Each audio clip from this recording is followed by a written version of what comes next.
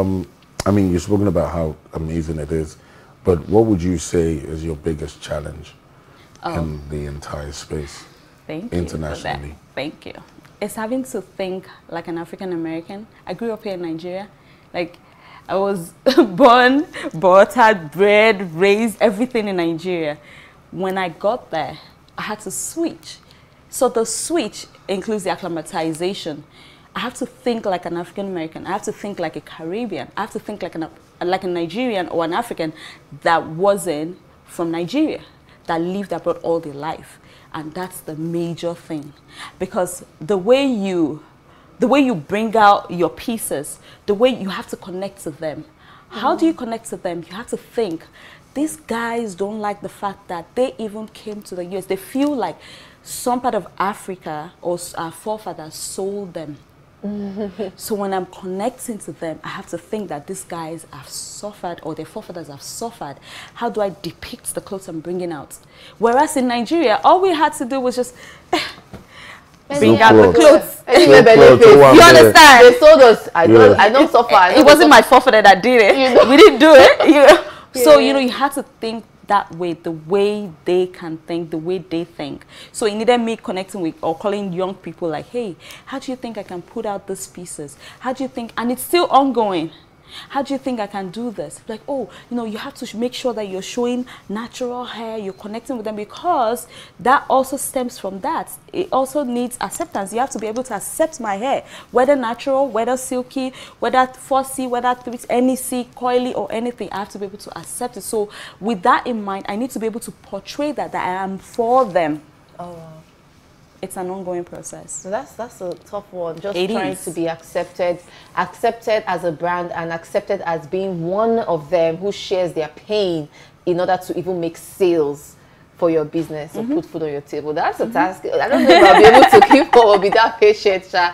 But I guess with the pros and the cons, the pros are more than the cons. Oh, yeah. Um, but let's talk about the the runways, the fashion shows. Mm-hmm. Um, I know that they always invite um, African artists and African designers and all. Um, do they still get the same the same benefits as the international designers? Oh yeah, most definitely. I had um, a fashion show in February, New York Fashion Show. Excuse me. Excuse me. I had one in February, and there were buyers. They're always buyers. They're buyers. They're you know people from magazines, from everybody, and the yeah, the acceptance was huge because they didn't even. I used Aso Oke.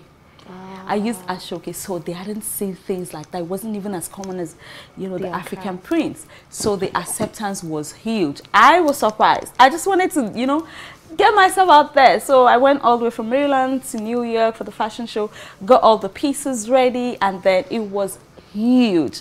I'm getting, even till now, I'm getting calls to come do another one.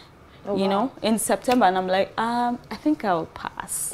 You know, 'cause Because it's, it's tasking. Oh yeah, a whole lot. And we had to beat everything. You know how beating takes work. It's a lot of work, putting in everything, trying to make all the styles, you know, come together and all that. So um, yes, they do accept African designers, and um, you know, internationally they do. I've seen even you know designers from here. I've seen them in some stores, and that's that's the that's the you know where we're looking at.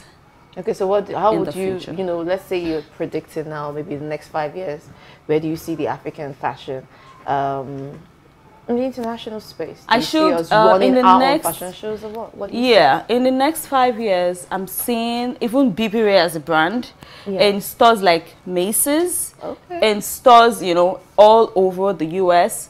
You know, they want quality. Can you produce quality that can match with international standards? Yes, you can. Okay. Um, can you produce in the mass that we want?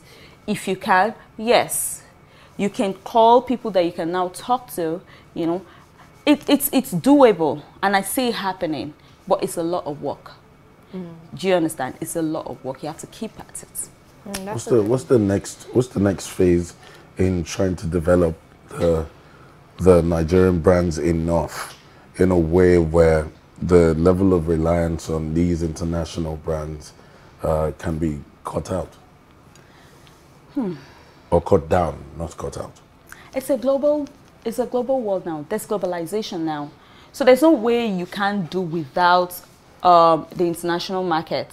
It's like saying, do you want to get stuck just you know selling locally? They sell to us. We buy their bags. We buy their shoes. So why shouldn't we sell to them? Do you get what I mean? It's a global world now, it, and Africa is on the global map, and we're there, we're shining, you know. So I don't see it as being dependent on them.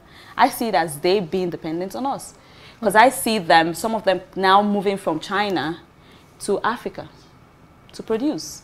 We have the population, you know. Yeah, Yeah. we do. All right, that's a great one. Thank you so much Riri, for You're coming through. We truly appreciate this conversation. It was very interesting, and you. know, um, it's just very refreshing. Uh, but in general, do you think? I I wanted to wrap up, but there's this question I have about copying designs. Uh, is it also something that is being experienced over there in the international space? Is there a way that they control it there that you think that we can actually imbibe here? Unfortunately, no, you can't because it's creativity. I could have an idea, you could have a similar idea.